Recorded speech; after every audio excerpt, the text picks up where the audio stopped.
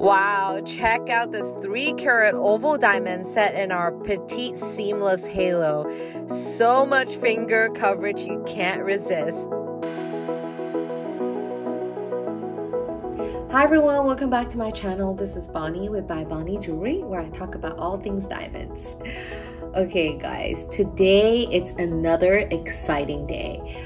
Why? Because I will be showcasing a three carat oval diamond, which I mean, ovals are have been basically trending for like this past few years now. I mean, so definitely one of the celebrity favorites.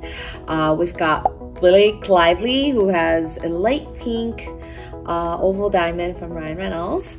And we also have, who else? Oh, Hailey Bieber. I mean, she has another gorgeous oval diamond set on a plain yellow gold band.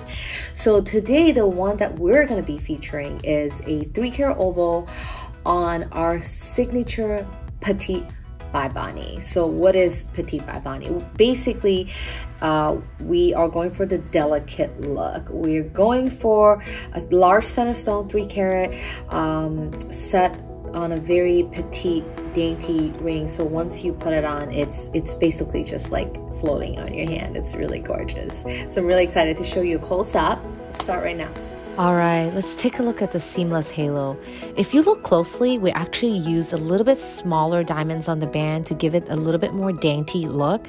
And then we use slightly larger diamonds on the halo. Now, for you, those of you who are looking for an oval diamond, don't just focus on color and clarity. Focus on the overall appearance of the oval diamond. Yes, there is going to be bow tie in every oval. It just depends on how strong it is. So you want to minimize that look as much as possible, but still making sure that the overall diamond it's bright and it's cut well and it sparkles well. So if you also look on the side profile here, the way we lifted the basket, you can actually wear a flush wedding band. Matching the color and the clarity between the center stone and the halo, the diamonds on the halo is extremely important because mismatching would cause like this contrast of colors that you don't want. So that's another thing that we do here at By Bonnie that makes our rings super seamless. And don't make a mistake of buying a ring that has poorly shaped center stone prong. That really changes the overall look. If you don't have nicely shaped minimal prongs, it will cover a lot of the diamond and you don't want that in your ring. All right, that's it for the close-up of the oval. So I want to give you a few pointers uh, about oval cut diamonds before I end this video. Um, so always remember that any type of cuts that are not round, so we call them fancy shape, right? Um, especially when the diamonds are elongated, uh, you always have to kind of be aware of how the diamond is cut.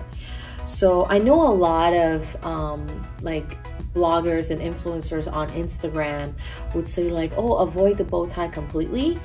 Uh, to be very honest with you, I mean, it, it's it's pretty much science. I mean, how the diamond is cut and how the light is ref, uh, reflecting back to your eye.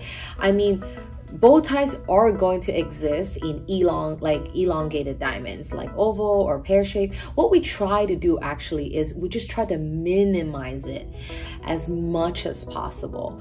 So um, we try to avoid any dark areas that going to be in the diamond itself. Uh, so that's one thing to look out for um, because when if you search online like it can be very overwhelming. Like you know you just see like a, a short video of the diamond laying down but sometimes you don't really get to see how the light reflects with it when it's like like set on a ring. So just remember when you're shopping for an oval diamond don't just you know buy only like color or clarity. Uh, cut is just way more important uh, in fancy shapes. Uh, you know, I mean, color and clarity are important too, don't get me wrong, but the cut always comes first. So if you are thinking about buying an oval cut diamond, make sure you reach out to me. You can DM me, email me, text me. I'll definitely be happy to guide you and show you examples and on how to get the best looking oval, uh, best cut, and value pretty much. Um, all right, make sure you like my videos, subscribe to my channel, uh, follow me on Instagram at by Bonnie Jewelry. Make sure you hit the bell on the bottom so you can always uh, see when I post videos. You can be the first one to watch them. That's it. I'll see you in my next video. Bye.